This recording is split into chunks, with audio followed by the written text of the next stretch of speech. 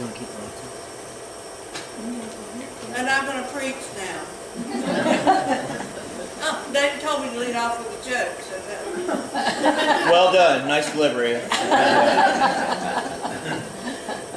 as, as Jeff said, we appreciate you coming out in this nasty weather, uh, to, uh, help us launch our new book.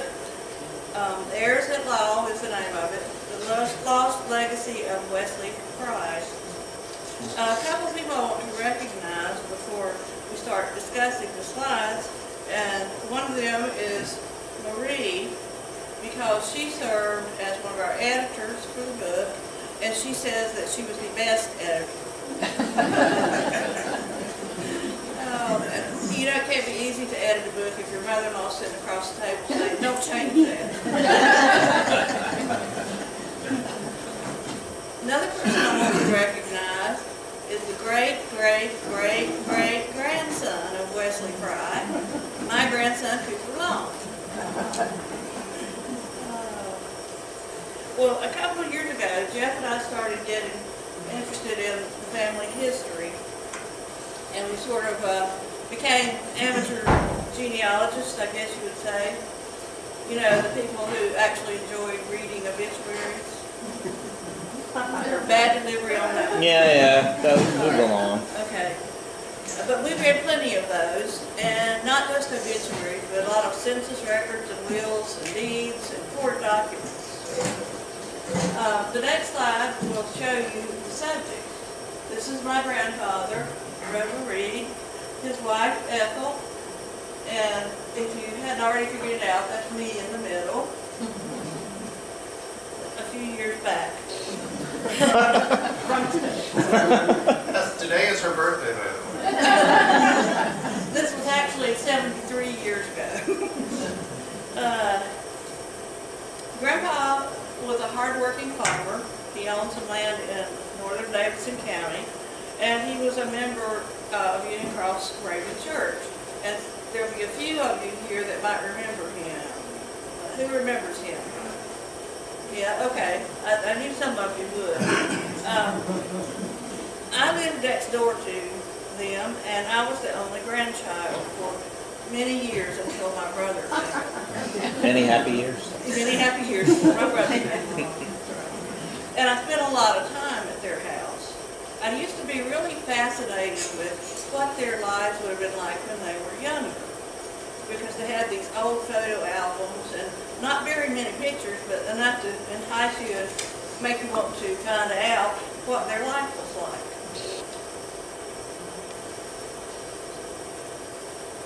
I learned that Grandpa's parents were John Augustus Reed and Matilda Melissa Fry Reed. And she was the daughter of Wesley Fry, about whom the book is written essentially, and her mother was Emmeline Cook. All of these people were buried at Friedland Moravian Church. My, the Reed part of my family uh, was in, among the first settlers that came to the Friedland community. Um, most of you have probably seen or been to Clodbuster Farms. How, how many people have been to Clodbuster Farms? Yes. So, you would have seen this house. And this is the house that's at the center of the story as well. Its rightful ownership was the subject of a dispute in the courts of North Carolina in the early 1930s, and the culminating in a final judgment from the North Carolina Supreme Court in 1935. So it was interesting to know that my former grandpa, who not rich, not well-to-do, went all the way to the Supreme Court with something in uh, the 1930s.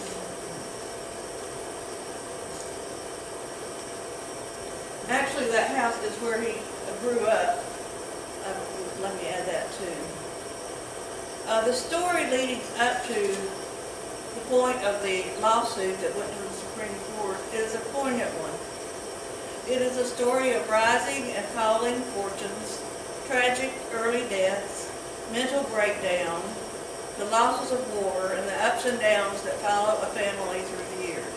It is also a story of courage and faith in the midst of very difficult times. Books will be on sale at the end of the presentation over here. Yes. They're actually ten dollars each, and everything is going to, uh, proceeds is going to uh, the Union Cross Building Fund. So if you're interested in purchasing a book with this story, Cooper will be over to help you with it after the presentation. Thank you. Yeah. All right. Guess That was much, that was much more practice than what I had. Um, So to pick up, so we were discussing, uh, this topic came up, this, this uh, state Supreme Court case, and we really didn't know very much about it when we were uh, through the years until about 2016, and I got an account on Ancestry.com, and I started doing lots of research, not only in this family, but on the Longs and some others as well. Uh, I came across a lot of interesting documents, and this is sort of a juicy tale if you think, uh, if you think about it. This- These are two branches of a family. Uh, The sons of John Augustus Reed, three originals on one side, and then when his wife died in- tragically in 1887, he remarried and had a second man. Uh, John essentially abandoned these three kids to uh, their grandparents. And we know that from records and from uh, family recollections and sort of moved on to his new family. So that's sort of a tragic part of the tale. And then after the grandparents uh, died when Roba was 10, uh, they ended up going back to the father under some circumstances. Later on, there is this disagreement over Wesley's uh, estate, which was initially settled in the 1890s.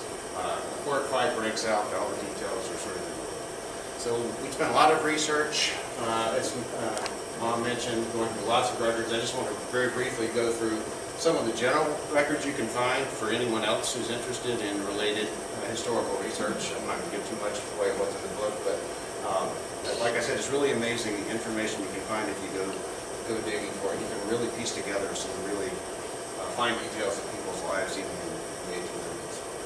So this led to our, uh, I proposed to Mom that we really should write maybe a short story or something about this, and as we started writing, we started doing more research, it's expanded into a much longer tale, so we ended up at about 100 pages uh, in the book back there by the time we finished, about a year and a half uh, later, and I did some, some final uh, leading up to the printing uh, of those paperbacks in March. Um, So along with that online research, uh, uh, that little uh, brother Roger Johnson uh, found in the home of Roba and Sarah Ethel Reed uh, this file here. We're not sure exactly when he found it, I think it was semi-recently. That house had been long abandoned. And in that file were documents related to this court case. And so there's, here's some scans of them. Some, some of these are marked Exhibit A, Exhibit B, which is really interesting to to pull open and see uh, handwritten mortgage notes that are associated with the controversy. So really getting, getting our hands on that stirred up some passion to really pursue uh, this story in conjunction with what we could find online. Uh, We wanted to make sure we were well acquainted with the environment, so this just is a map of of an area most of you know uh, quite well, but you have to think about some of the names of places that are involved here, like uh, Broad Bay, of course, that was the original settlement here, and still uh, is the name of the township, I believe. Uh, This would have been Abbotts Creek uh, Township, so this- the places in our story here are uh, Wesley Fry, they had a town lot in the 1870s, we're not sure they lived there, but that's the only property we can find from that time. Later on, he buys a farm here, uh, just off Hastings uh, Road, which we'll show some pictures of, you cross churches here, Cleveland Church is there, so those are key uh, in our stories. Uh, Roba Reed worked at the Nissen Wagon Works in the early 1900s, and we think some his ancestors also uh, worked there, so that's a key part of our story. Roba Reed's farm here, which he purchased in uh, 1970, 17. And then uh, T-Town is the name that comes up very frequently. This is the, the general area here. Union Cross and T-Town sometimes seem to be used interchangeably. Sometimes T-Town is is more this area closer to Abbotts Creek uh, Church Road. And then we have the adventure to Abbotts Creek Church Oak, which is another uh, historical uh, church in the neighborhood. Uh, One thing to point out, if anyone doesn't know, that this part uh, of what is now Forsyth County was part of Davidson until 1922. So that uh, determines where you go looking for, for property records. So for Wesley Fry's property, at the time he bought it was in Davidson County, but uh, uh, after this, at the time of the court case, that was part of Forsyth County. That was ceded to uh, uh, Forsyth County so that the, the new highway would all be in Forsyth County. And if. Oh, sorry. That's okay, no, this is fine. So, uh, another interesting thing, if you think about the environments, is to go, get on Google and go looking for old maps. And so this is, this is a very cool one I came across actually semi-recently. You'll see this is the same area. This is a nineteen twenty-seven map. Uh, sometime in our, someone in our generation came and put some other labels on here. But what this shows is, again, that Broadway, Friedland, uh, Union Cross is right here, of course, and the rest is sort of off the map. The interesting thing is you see the names of the the homesteads for a lot of the people here. And a lot of these are the same names that were there hundred years before. So here's the John Reed House uh, down here, which was formerly Wesley Fry. And you'll see a lot of familiar names. Swain here, uh, Reeds and Hines down here. These are some of our ancestors as well. Uh, Williard. So it's interesting, having spent a lot of time in the census records, to go hunting for where people lived, at least at the, uh, the time of this map. A lot of these people are living on land that they inherited from their family several generations before. So the Swain family, which we are also related to, uh, had, had or had owned this property since the 1790s. We found an original uh, land grant for my great great great great grandfather William uh, Swain, who lived there, and there, at least at this time, there were still some Swains. So we spent a lot of time uh, looking through county deed records. Unfortunately, those are mostly online, so uh, And Forsyth in particular, those are pretty easy to search if you have any interest in that because they're, they're indexes, so you can put in a name and generate a list like this. So here's a list that has some Wesley Fry entries. He was very active in lending money, so these are all mortgage deeds uh, that he, uh, he loaned out. So he had a little bit of spare change in his pocket uh, to do that, which was sort of interesting and corroborates some of the other things uh, that we learned about him. So a lot of interesting information find, not just about the owner of the deeds, but about their neighbors. So they give you, um, you know, markings on the property, and this property's next to so and so. So you can start to piece together what a neighborhood would have looked like at a particular time. That's the website if anyone's interested. It's a little bit obtuse to use. If you're interested in learning how to use it, I'm happy to, uh, to uh, exchange emails with you or help you do a search if you, if you prefer. If you're looking in this area before 1849, of course, you have to go to Stokes County. This was part of Stokes County until, until then, and that has a similarly uh, good website. Uh, Davidson County records can be found. Uh, Here is a little more difficult site use because they're not uh, indexed, but I know where a lot of the deeds are hidden, so I can help you with that if you have any interest. So, uh, both from the online records and from the deed that we found uh, in that paper file that I mentioned, and there's a copy uh, on the back down there if you're interested uh, in that, we were able to sort of trace out the outlines of the Wesley Fry farm. This is the farm he purchased in 1878. And in fact, I took uh, a picture from Google Maps and I mapped the dimensions on it. It's interesting how you can still see the outline of the farm uh, on this map by the landscape here. So in the middle of this would have been that brick farmhouse in- in an old barn there. This is now the site uh, of Cloudbuster Farms and a couple properties that were sold by uh, your mother, I think, after she inherited from Wilbur Reed. uh, Sis bought those properties. So that- it's cool to, to sort of look on a map and see this is where that was. As Mom mentioned, there's a long associated with uh, uh, the Moravian Church, so I won't uh, belabor that too much. Uh, This was an interesting picture we found, it's in the book, uh, reproduced uh, courtesy of Old Salem uh, Museum and Gardens from 1895. So this has been right after the time of Wesley uh, Fry's death. You see the mode of transportation people were using uh, to get to the church and a relatively simple sanctuary from that time. And a lot of these folks are buried in there. Uh, Friedland's got, Friedland uh, Moravian God's Acre. One interesting thing you might see in Moravian cemeteries known for their very simple, small stones. Uh, The Fry stones, this is, this is Emmeline, this is uh, Melissa Fry Reed, really stand out. So that probably caused some controversy at the time. In fact, that probably caused some controversy in, in, uh, in later years. Those are still there, and interesting, and they have a lot of useful information. So since we were looking at uh, Friedland, a great resource if you're interested in the history there is the record of the Moravians uh, series, which was started by Francis Fries. We were looking in the middle 1800s, so those are uh, volumes edited by uh, Daniel Crews. And I just pulled a couple things out that I, were sort of interesting to me because they talk about da- the daily life there. So this is from, these are all from the Friedland's Pastor's Diary. The top one is from 1856. I'll just read it real quick. I do not know what to make of these people. They seem to be half Christian, half heathen, without seeming to understand anything of the responsibilities of church memberships and, and so on. You actually see a lot of these from this time period. So this was a time when Friedland was really sort of struggling. Its members were going astray. A lot of people actually moved uh, out to the Midwest at this time. So a lot of those original families were, were leaving, and the church wasn't necessarily replacing them quickly enough. So there's a lot of pastors' complaints about church attendance and church giving in particular, which was sort of, sort of interesting. And then the, the pastor was obviously very interested in the lives of his uh, parishioners. This is from 1857. Uh, says on the following Wednesday night, Alexander Schneider, communicant and committee member, ran away from his creditors, having sold his property and turned it all into cash so that nothing is left to satisfy his debts. He took all his family with him and has gone west. So there's still some, uh, some controversy it, and that was not uncommon. Uh, then a lot of people were heavily in debt, particularly farmers, so sometimes they had to get out of their situation. And then it was sort of interesting to see mentions of some of our uh, specific ancestors uh, among these. In particular is my great-great-great-grandfather, uh, Jonathan Louder, who was really one of the key members uh, of the church during this time period. In fact, he actually had the key to the church for a time. And so from the pastor's diary in 1872, went to Friedland where I took part in the Sunday school and preached at the usual hour. Was prevented from holding the communion on account of Brother Louder's absence, he having locked up everything and gone to the river. And then the next week, he talks about uh, having to mitigate a a family feud between the Louders and the Reeds and their neighbors, Hunters. And they were actually all intermarried, so that have interesting.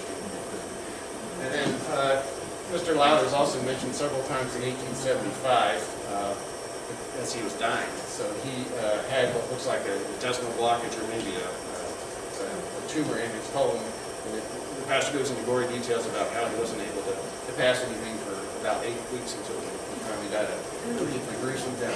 But it was sort of interesting to read those kind of personal details. And again, that's, that's a level of detail you can actually find if you go, go looking for it. Uh, Of course, we spent a lot of time with the census record. There's an entry from Wesley Fry's family in 1860. And If you look at the records from 1850 onwards, there's really a lot of information that you can mine. Uh, So the questions that are asked in each uh, census sort of varies by the year, but some of the information you can are, again, confirming uh, the relationship, the ages of the family, what they were doing for a living at the time. Household net worth, that's an interesting one. So you can see the numbers there. That's the personal property and real estate uh, value at the time, so you can get some idea, at least what they were telling the census taker they reported, uh, which may not always be exactly accurate. And of course, in, in this times, uh, the census taker was sort of going around the neighborhood, so you can tell sort of who's neighbors with whom, or, you know, if someone's within a page or two of the person you're interested in, they were probably a relatively uh, close neighbor. There's information on when people started attending school. So uh, the kids might be marked for having attended school uh, in that year, uh, beginning about 1850. And this is, this is the time when uh, public schools were really becoming what were required at that time for the county to have a public schools people. There's questions about literacy here, and in some of these you'll see uh, information about particular infirmities that uh, a family member might have. Lunacy is something, a term that's used there deaf. So you can tell something about uh, the health of the people in term two. Uh, Another uh, less pleasant thing is looking for records on slave ownerships. In 1850 and 1860, there was a uh, special slave census, so you can look up by the owner. So this is, this is one for Margaret Gardner. She's not a family member, actually, uh, but she uh, owned a property where the uh, Wesley Fry farm ultimately became before that, and this shows that she actually had three, three slaves on that property. So interesting to, to be aware of that. And of course, for this story in particular, we spent a lot of time in the will and probate records. That's uh, a copy at the top of John Reed's will from 1926. So again, you can use this information, again, confirming those family relationships. They talk about the properties they own, so this can help bolster what you find in deeds. Uh, There's a lot of information here about the decedent's uh, net worth, the debts they owed, the debts that were owed uh, to them, and people were lending money back and forth like crazy in the time before were really stable banks uh, to go to. Court actions, of course, which is the topic of this, this book. Um, A really useful uh, aspect of this uh, time period, um, probate records are extensive inventories of the, the uh, property of the decedent. So I actually have a copy of Wesley Fry's household item list, it's like many, many pages long, so that can tell you essentially what the, those folks owned at the time. And then some of the, the prices that they paid at the time for all these various items, which look small by our terms, but in those days would have a lot of money. And if you go looking for uh, a person you're interested in, look for their neighbor, look for their neighbor's probate records, and then you can go see what your ancestor may have purchased. So this is, uh, this is from the estate sale of George Mock in the Broad Bay community. See Wesley Fry here, this was in 1881. He purchased a watch for the exorbitant price of $4.15, which was a lot of money. So sort of interesting to see uh, what your ancestor might have been shopping. And then I spent lots of time with newspapers at the time. So these are the main uh, newspapers that we researched. I should have also put the Davis Dispatch here, sorry, I omitted that. The People's Press, 1851, eventually that, that petered out. That was the, the Whig newspaper at the time. Western Sentinel was the, the Democrat newspaper at that time, which ultimately became uh, various forms of the Twin City Sentinel, the Winston-Salem Sentinel, and ultimately became merged with the Journal. Union Republican came in after the Civil War, which is the Republican Party at that time up until uh, World War II, and then of course the Journal comes in later. And so from these you can go on searches. Um, uh, if you're interested, you can. I think you can get some of these at the library. I use. Uh, I'm lazy. I like to stay home and, do this. Uh, I go on newspapers.com for a few dollars a month. This is really fascinating. I find it fascinating to just sit and read uh, a newspaper from this area from 1862. Uh, but you get all sorts of information. You can search it. So uh, this is an example of uh, the post office used to publish lists of people who forgot to come pick up their mail. So this is from 1854. Here's Wesley Fry. He's, uh, he and a lot of other people have mail piling up. At, and I wonder, like, what are people at this time getting in the mail? It's a, a simple farmer presume. Uh, State uh, auctions and sales are uh, important information. So this is Wesley Fry, he's actually selling a property he's uh, mortgaged and is collecting on. Agricultural first is important, so this is John Reed, uh, Wallburg, Davidson County, He killed a 16-old, 16-month-old hog that kicked the beam at 621 pounds, which, I'm not a farmer, but I think that's, that's a pretty big, big hog. And then, of course, uh, obituaries here. So this is for Emmeline Fry, relative of the late Wesley Fry near Teamtown, died at the state hospital in Oregon. So that, that's an important part of our story because we know that this ancestor spent the last few years of her life at that state hospital with some form of, of.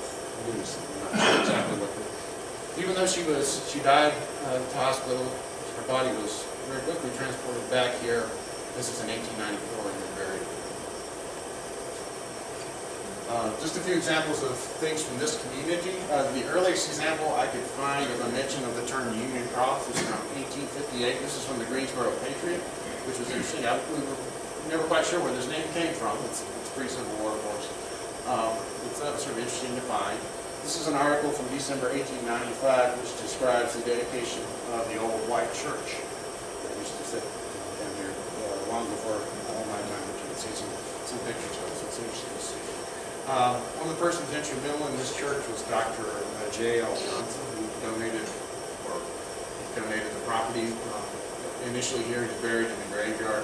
I found a story of uh, where he was accosted, he and his uh, daughter were accosted, and uh, a vagrant sort of threw a beer bottle at the daughter and cut her head severely, which is sort of interesting. He got away.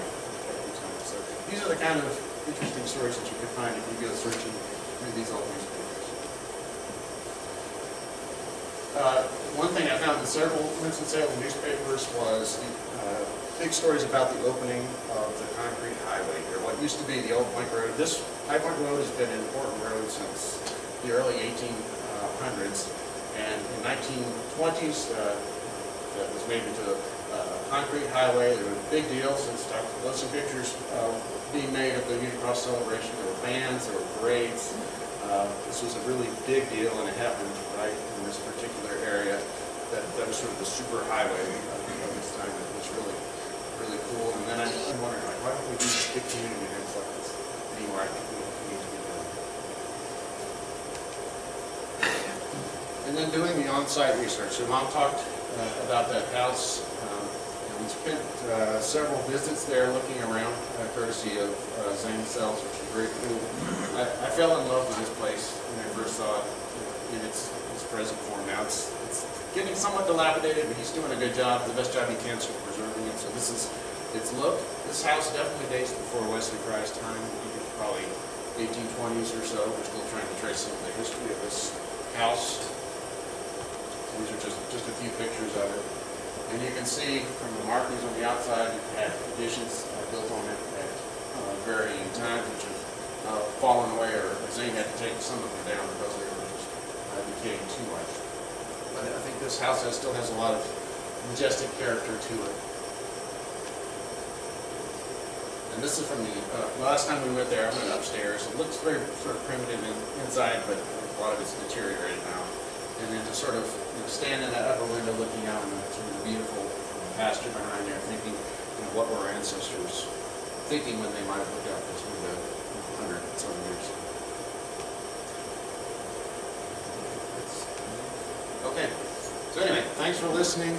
Um, If any of you have any interest in learning more about ancestry or the history of this area, uh, we're happy to share our experience. Uh, I'm steeped in all the online tools at least uh, that are available, and of course, go to your local library, you can find a lot here as well. But uh, I'm happy to converse with anyone about this. I've learned so much about this area. I spent so much time learning through those census records who was living here. I feel like I, I know them all. So I probably know some of your. So with that, I'll stop and take any questions, and uh, please help yourself to book. Thank you.